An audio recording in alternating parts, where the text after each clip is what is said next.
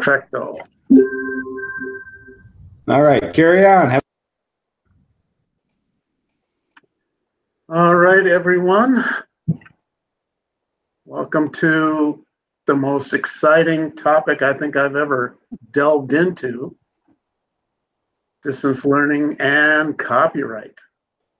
I did uh, copy this link into the uh, chat if you want to just follow along on your computer instead of what I'm presenting. Um, so let's see what happens here. Um, are you seeing? There we go. It's popping up now. And let's go to full screen. Let's put chat on. All right. Um, yeah, we've been bouncing this topic around for quite a while here at Chisago Lakes, and now with COVID and all the things that seem to be open and free because you know we had to switch distance learning was was uh, quite heady for some teachers that oh cool we can use this we can use that we can use all these different things and we don't have to worry about it. Well yes and no so what i thought i'd do is just kind of walk through some of the things that i've picked up and learned about this and we can just kind of have a discussion as soon as the uh, as the slideshow is done. I do have some videos in here that I am not going to show in the meet because that doesn't work so good. So that way, that way, if you click on your link, you can watch these as you have time or whatever. But back in 1976, they decided that they were going to make a major renovation, a major change in the copyright laws, which hadn't changed since 1909. Now, I was thinking 1976, that was my second full year of teaching. What was the technology like back then? Anybody venture to guess what kind of technologies we had back in 1976? uh, film strips, overhead projector, the mimeograph machine that went boom, boom, boom, boom. And then you'd smell the ditto machine papers as they were passed back. And yeah. Yeah, so technology back then was a little different than what we're thinking about now. But in 76, they had three sections to the copyright law, and section 107 was fair use which means that you could use works that were copyrighted for criticism, commentary, news reporting, teaching, scholarship, and research. That seems reasonable. Section 108 was allowing libraries to copy, photocopy, whatever, for archival and for interlibrary loans. And then section 110, which is the one that probably pertains mostly to what we're doing now. Subsection one was exemptions for the performance display rights for nonprofit physical classroom settings. That means face to face. Where subsection two was containing exemptions for digital transmission for accredited nonprofit online and distance education settings.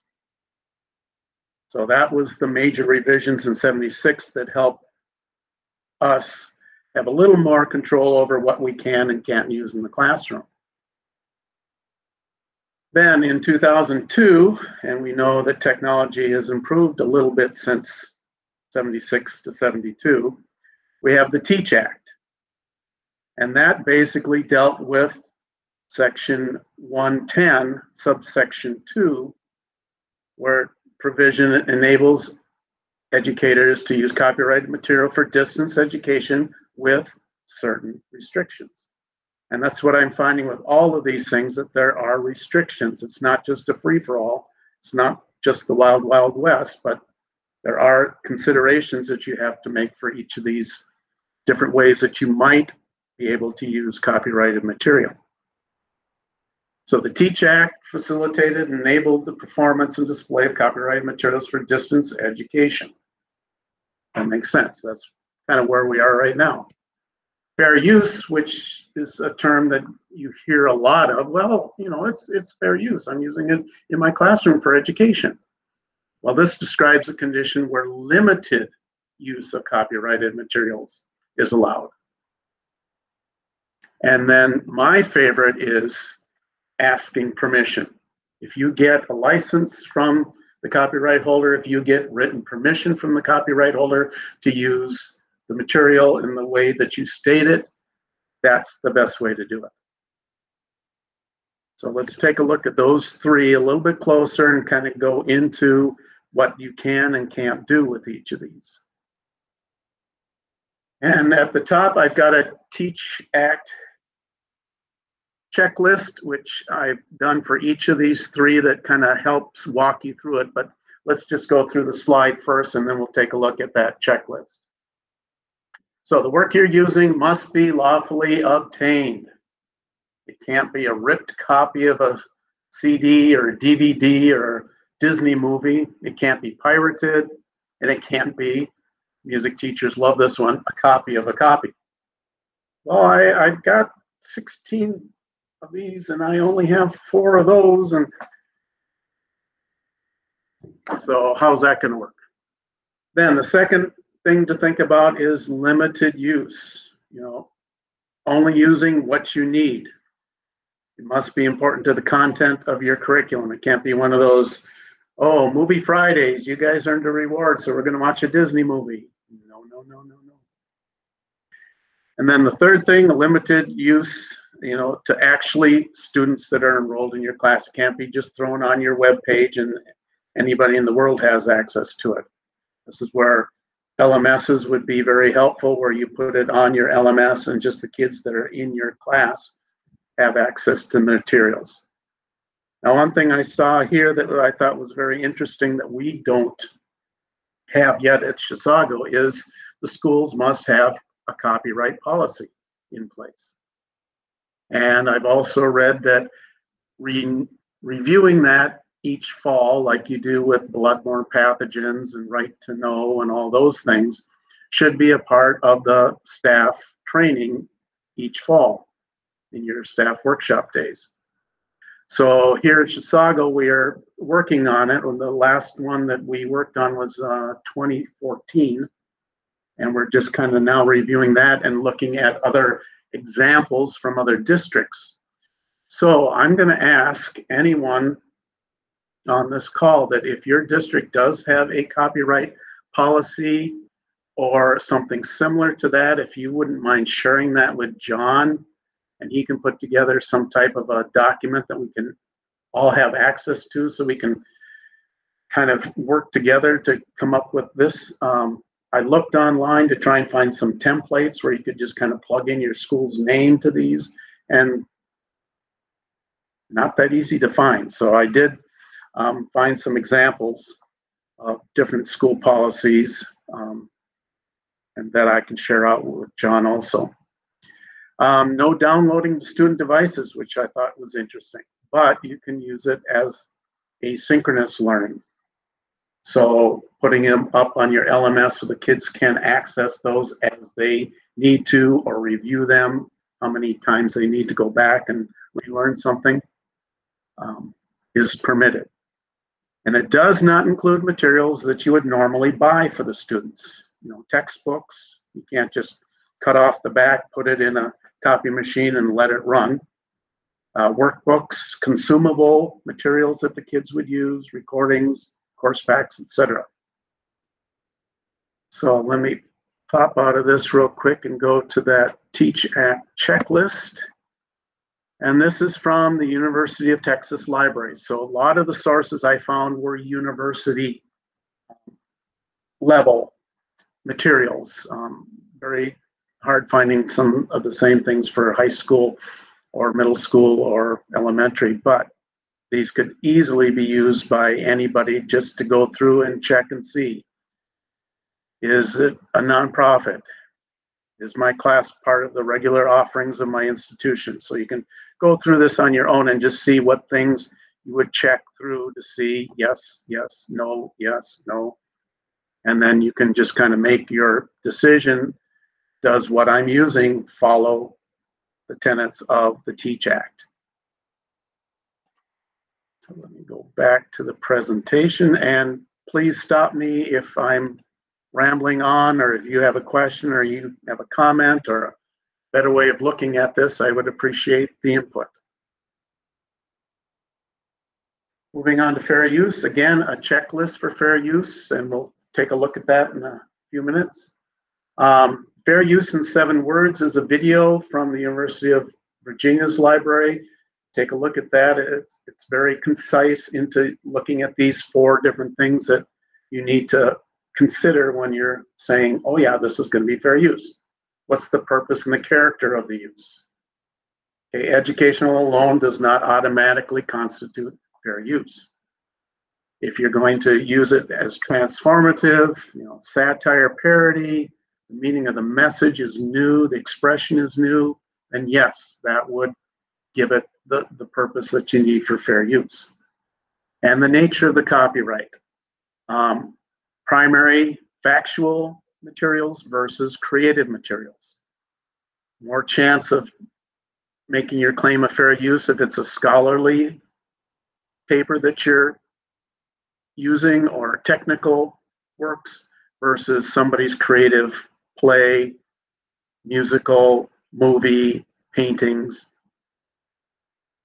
Okay, and then the amount is very important. If you're using half of the movie or half of the poem or half of the book versus only 10% of it, may not be as good a claim to fair use. And then they also have this is what you are using the main part or the heart of the work. That can have an effect on it. If you're using some supplemental things that lead up to that, that's fine. If you're using the main part, I'm just going to show the uh, color part of the Wizard of Oz movie. Not the black and white on each hand, but just kind of the middle. But you know, that probably wouldn't be fair use. And then the effect. How is this going to affect the income that the copyright holder would get if you are using their materials? Is that going to impact them? So let's take a look at the fair use checklist. A little bit different style. This is from Penn State Libraries. But here they've got these on this column would be in favor of fair use. The ones here would not be in favor of fair use. And you can kind of go through it and see, just check things off. Yes, it fits in this one. No, it doesn't fit in that one. And then you have your determination at the bottom by looking at the things that you've checked off here. Is this really going to be a fair use or not of the copyrighted material? Back to the presentation.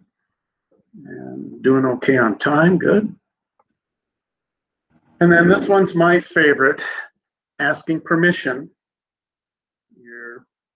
If you can find the copyright holder, if you can get permission from them, and sometimes it takes a number of times to, to find the right person to contact or the right person to ask or the right publisher to ask.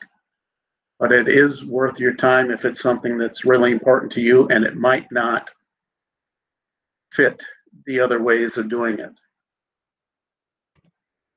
Let's see what's Yeah, I, do you want me to ask a question, Mark? Yeah, please. My question is just, does a school district have to meet both the Teach Act, like checklist and the fair use checklist, or are there situations where only one is applicable? I would say if you go through and say, well, this is more likely to be approved if it's under the Teach Act, I would just go with that one. If you think it's because of the things that I outlined here, if it's more of the fair use, then definitely I would go with that one. I don't think you have to check every box, all the way down, but to be safe, you know, going with one or the other, whichever one fits best for what you're trying to do or the material that you're trying to use. Okay, thank you. Yep. So permission, finding out who holds a copyright. Is it an individual? Is it a piece of artwork that you want to use as an example? Is it a poem? Is it um, some other creative work? It might be a, a chapter in a book that you want to use. Then you contact the publisher and see what kind of uh, permissions or license they would need. And then also check a publisher's website. They have a lot of information on there about using this for fair use. And then when you contact the copyright owner, please put in that information that telling them what you are using this for. Tell them how much you are using. Tell them how you want to use it. And like I got at the bottom there, it takes time, so plan ahead. Don't just think, oh, it's Friday, I better ask permission because I'm going to use this on Monday. No, this should be planned way ahead. And then document everything that you're doing so that there is a, a, a flow chart of, okay, I found this, did this, contacted this person on this date, they replied back or they didn't reply back, try it again. And then if you do get permission or licensing, make sure that you get it in writing so that you've got documentation. So if something comes back later and says, you did not have permission to use this, you can pull out the documentation and say, yes, I've got it right here in writing. Now, the permission checklist is a little bit different from the other ones. It's not really a checklist, but it is a number of steps that you would need to go through to secure that. And the first one is, I think, really common sense, but you don't always think of it. Determine if permission is needed. If it's something that's in the public domain, you don't need permission. If it's something that's um, under Creative Commons license, you don't necessarily need permission depending on um, what the license is for that. So, and this one, again, you can go through on your own and pull out parts that, that make sense and um, go that route if that works for you. So let me go back here, getting close to the end. So how to avoid copyright issues, create your own material. Instead of using somebody else's graph or data or whatever that's copyrighted, create your own graphs or images or content. Second thing would be to consider using stuff in the public domain. And I've got three different links here that provide tons of material,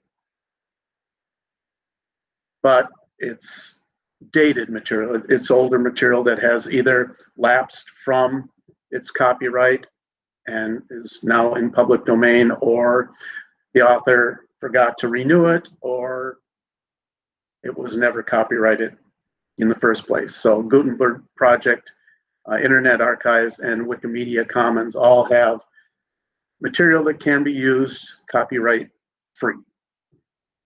Most of the content from the US government is free to use. So if you've got statistics for a geography class or history class or something that was created by the US government that's in the federal archives, that's most of that stuff is copyright free.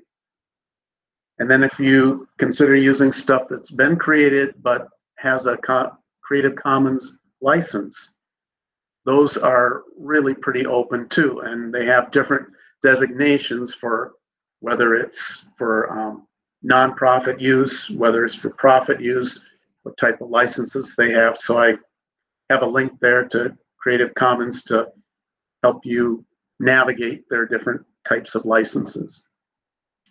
There's a video here, Creative Commons in plain English, that kind of just walks through the steps of what that system does for the different creators and how they can license their materials and have some control over how it's used.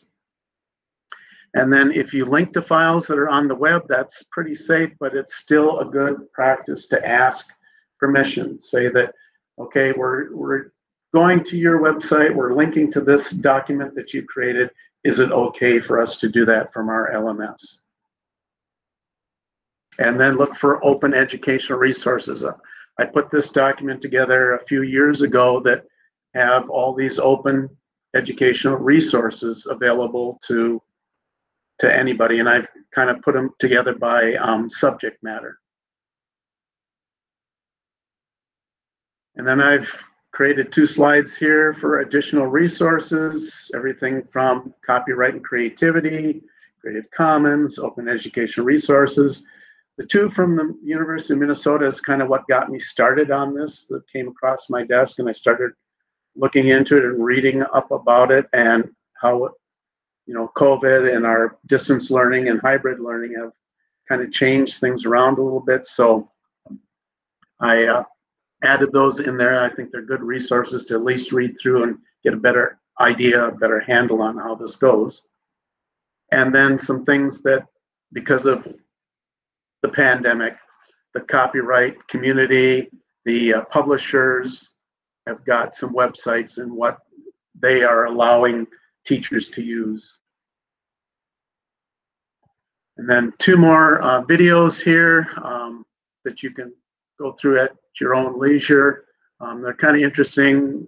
The fairly used one is very creative at first, but then it gets kind of annoying after a while. And then my disclaimer, I'm not a lawyer, so this is not legal advice that I'm giving you, but I feel like I I am one after reading all this stuff. So now I will open it up to questions or comments or things we can share. Uh, let me stop sharing my screen here. I, I popped this into the chat, um, but I just wanted to point out the described and captioned media program. That was a find that we stumbled onto in distance learning. Um, it is completely free. Um, and it is paid for through the Department of Education. And it is a great resource for videos. Our health department was looking for videos that they normally showed in class, but you know, they had purchased the DVD and like, how do we send this out in distance learning? And we found many of them were already available for free um, at the DCMP website. Um, so put that on your radar, especially if you're looking, if you have staff who are looking for videos or even, you know, future purchases, like, hey, I want to buy the DVD for this. See if it's there. Also, it's a great resource because um, closed captioning should never be an option. It should just be mandatory. And Right. that's what the whole thing is about. Um, often those videos, the captioning is also available in another language. So if you have ELL students and they're watching To Kill a Mockingbird, they could get, you know, maybe the captions in Spanish or something. So make sure to put that on your radar. That's a really good one. I'll add that to the slides for the three o'clock then. Thank you. Any other Yeah. comments? Ben, hi, Ben. I was just Sure. gonna say, I'm so linear, it feels like if I'm following the history correct, because I have to keep it really simple in my mind, and I'm thinking of how we train our staff in the fall, that fair use is kind of the big umbrella, and Teach Act is only for distance learning. Is that correct? State that again. Okay, that, that, because the 1976 copyright law kind of set up fair, fair use. So that's kind of the big one. And then because that section 110 subsection 2 is distance learning, that's what teach changed, right? So Correct. fair use is kind of when they're in the building, they teachers would use all that. If they're in the distance learning setting, then they would use the Teach Act checklist. Yeah, I'd say the fair use has been around the longest. It's kind of the, the largest umbrella covering uh, copyright. And that would be more dealing with face-to-face. Where, yeah, it's section ten, subsection two would, of the Teach Act, then would be more of what we're doing with hybrid learning or distance learning or online learning for like Wildcat Academy. That helps me keep the things straight in mm-hmm. my mind. Thank you. But this is, again, a group collaborative thing here. If we really need to get technical, we call in the district lawyers and have them explain it to us because we're we're kind of going through this minefield as best we can. Yeah, Ben's comment about watch what you put on your websites as far as photos. Um, and what I always try and do when I'm in searching for Google Photos is to use the user rights part and then select the um, available for for any use. It's not licensed, it's not copyrighted, or it's copyrighted for uh, Creative Commons.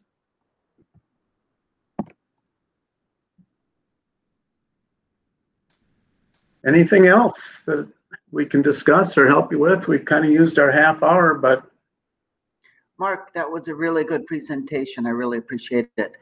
It's uh, for musicians. Um, I- I'm a part-time music teacher, um, and um, you can get licenses if you want to do synchronization. And although sometimes you have to pay for it, um, although in the pandemic, a lot of people are giving permission without money, uh, without without compensation, which is good. So I, I don't think there's going to be a lot of lawsuits during the pandemic, but you've got to, we, we've got to shape up because it's very expensive if you get caught. Uh, communities of faith have had to pay more than a hundred thousand dollars sometimes if, uh, they are not careful with their copyright as they just share various material and that's happened local, well, maybe I can't, maybe I shouldn't say, but let's just say it happens throughout Minnesota. Yes, yes. And as a former music teacher, I know that that's something that's always kind of weighing on your mind. Well, if I just make this one copy and then destroy it after, I'll be okay. That's not okay. Or if it's pop, if it's permanently out of print, do I still need to get permission? Yes, you do. You know, it's all those little things that, well, you know, I'll get by with it this time, but it's not worth trying to just scoot around the rules. Well, and it's too easy to fall into a bad habit. I mean, right now, like you say, well, they're not going to go after you during a pandemic, or it's less likely. Well, if you're in the habit in the pandemic, later you're going to be like, well, I've been using it for a year and a half. What? Why now? Well, be And we have to be good examples for our students too. It's not just the teachers that are responsible for this. If the kids are creating content, they should be aware of, of what they're doing also. They can't just use any song off the internet. My son found that out when he was posting something on um, Instagram, where Instagram said, yeah, you can use 30 seconds of this. And then they pulled his post off. He went to TikTok and found out, no, you only can use 15 seconds of that.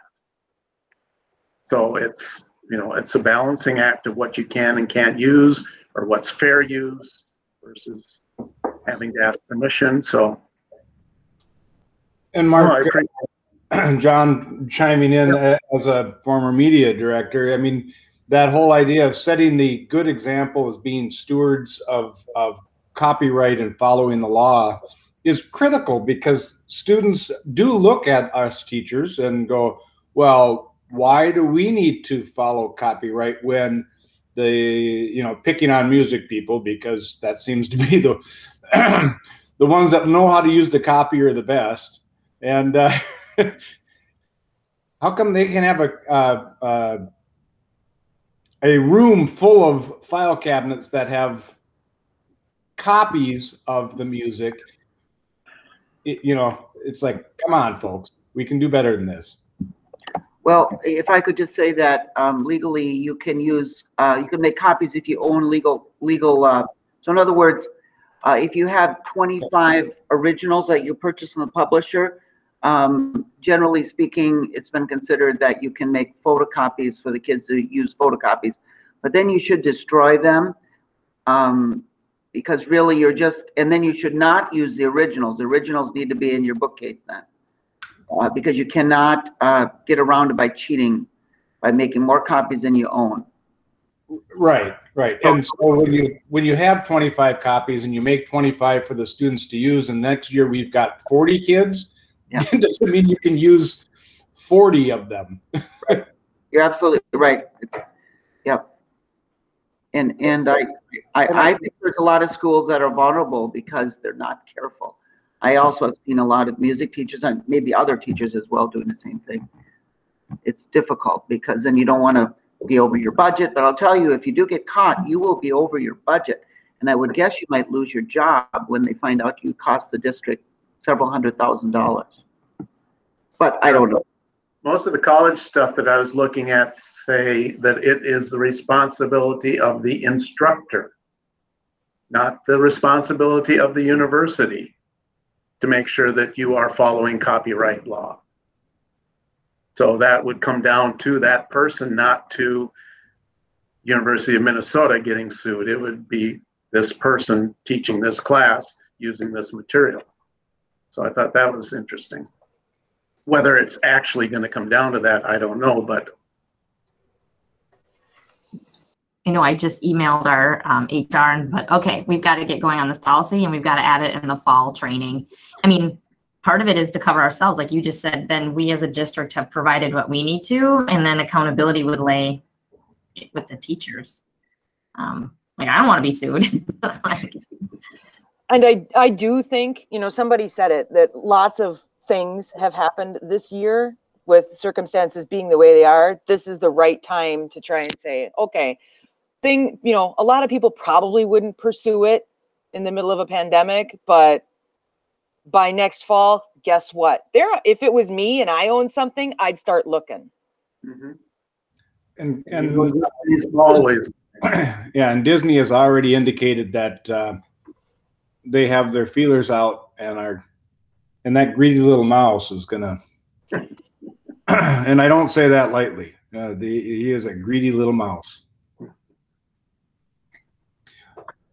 Well, folks, I think we've we've uh, reached the end of our time, and being cognizant of that, I will uh, thank you all for joining us this morning. Um, this recording will be available uh, for quite some time. We'll put it up on our ECMEC uh, YouTube account shortly, uh, probably tomorrow, actually. Um, and if you uh, if you have other other needs for things to be uh, done in this kind of a fashion, uh, please don't uh,